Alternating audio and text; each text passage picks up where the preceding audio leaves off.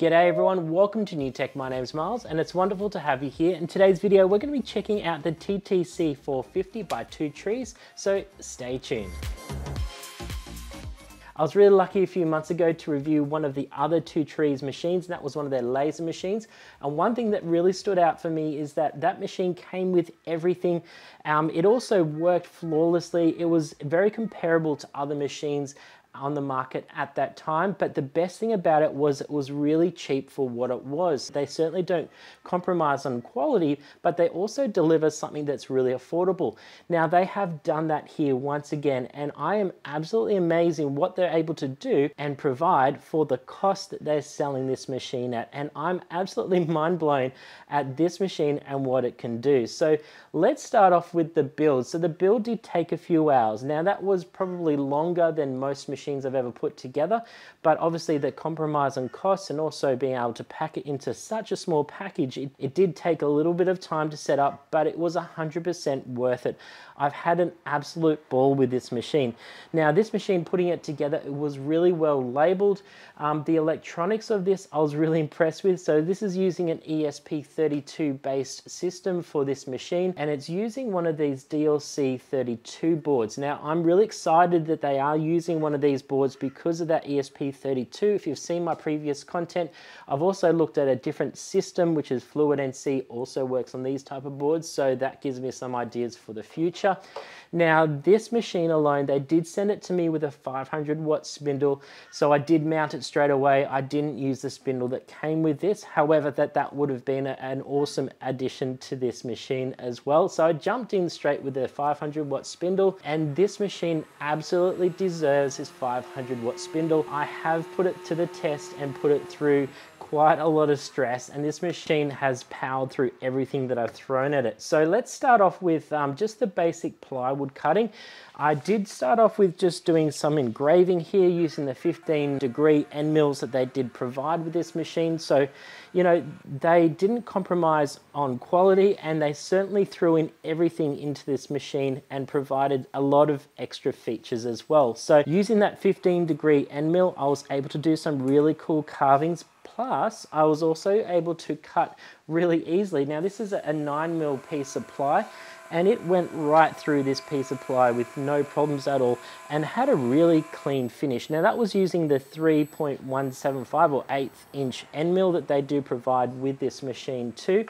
Um, so out of the box, in the first couple of tests that I've done with this machine, I was absolutely blown away. So one of the things I've had troubles with other machines is that when you have dust everywhere that you have to vacuum it out of every nook and cranny on the machine, but they do provide a lot of these track guides and they are fantastic because it stops all the dust from falling into the parts of the machine which you do really don't want it to fall into. So I was really pleased that they have provided those um, track covers.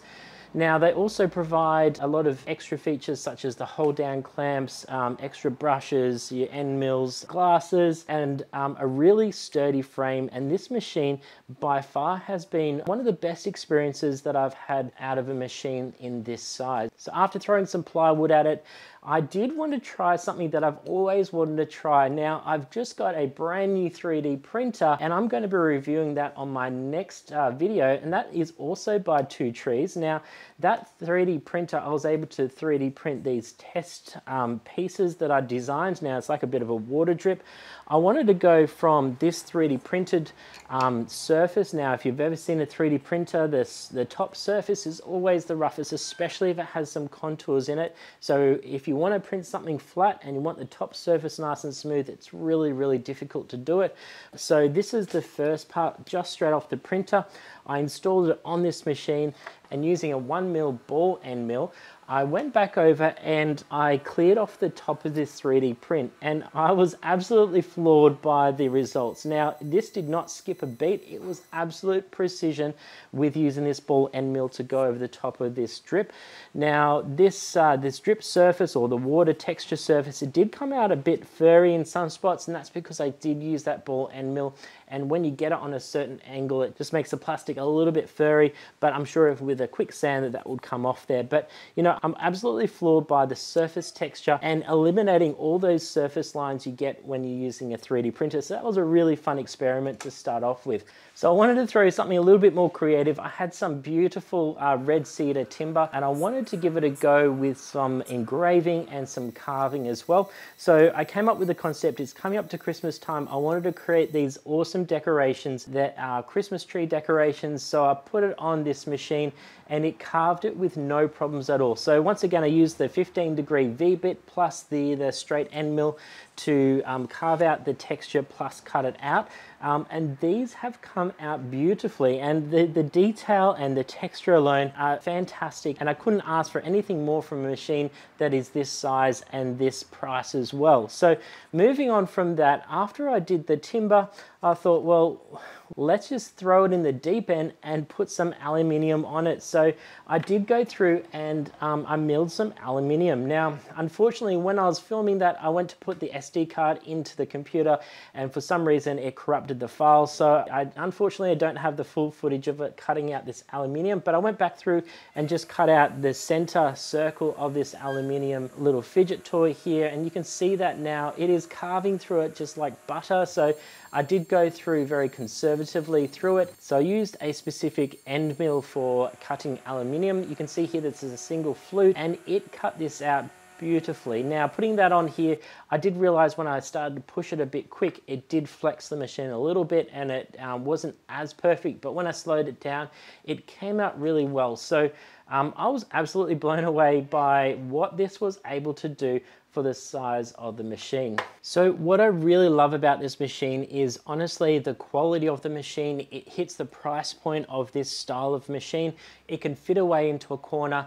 You can also control it with the offline controller there. So you can plug in the SD card, use that touchscreen to control the, the machine and put it to wherever you want. And it comes with the machine. You don't need to have to upgrade to anything later on or attach anything else because it's all included in one pack and I'm just blown away by the quality and the, the price point of this machine. So I'll pop the links for this machine down below if you want to check this out for yourself, but I believe that this machine is available on various different websites. I also will be reviewing one of their 3D printers in my next video, so I'm really excited about giving that a go. It's certainly something that is a bit of a rival to the P1P Bambu, so please like this video and don't forget to subscribe for my upcoming content. Um, I'm really excited because this has been a really lovely collaboration with Two Trees and I'm excited to see what other products they certainly come out with in the future. So thanks very much for watching and I'll see you next time.